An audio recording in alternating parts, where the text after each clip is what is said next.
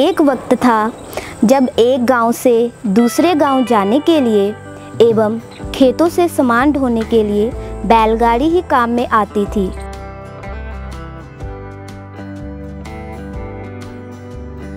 उस वक्त बैल इंसान के दोस्त माने जाते थे। बैलों को रोज़ाना खाना खिलाने के अलावा उनकी मालिश करना उन्हें नहलाने का काम किया जाता था। गाड़ी एवं एरोप्लेन के ज़माने में बैलगाड़ियाँ कहीं खो सी गई हैं, लेकिन बैल और इंसान के बीच का रिश्ता अभी ख़त्म नहीं हुआ है। अभी सोशल मीडिया पर नंदी की एक ऐसा ही वीडियो सामने आया है, जो हर किसी का ध्यान अपनी ओर खींच रहा है। इस वीडियो को देखने के बाद हर कोई इसे आत्मनिर्भर भारत के साथ जोड़कर देख रहा है। तो कोई इसे अतुल्य भारत का उदाहरण बता रहा है।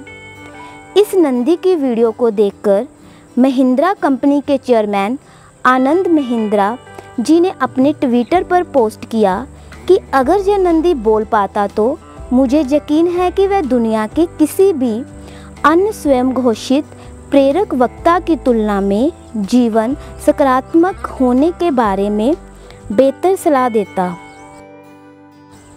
इस वीडियो में रामू नंदी बैल खुद से गाड़ी में आता है और अपने आप गाड़ी को जोड़ ले जाता है।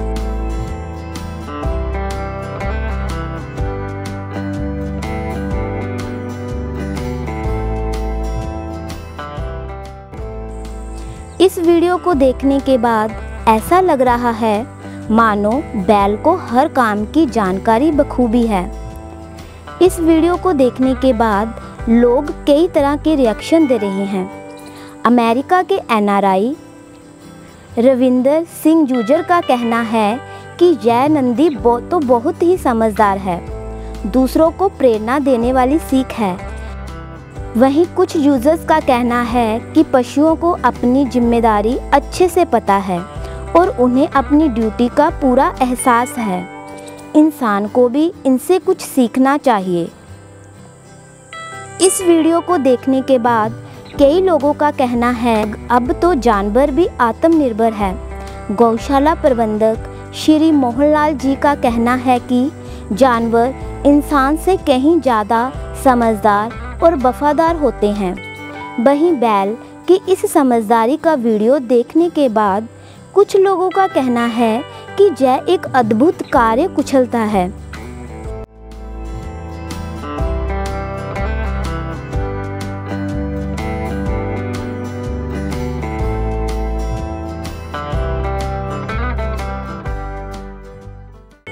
पशुओं को पता है कि इंसान उससे क्या चाहता है।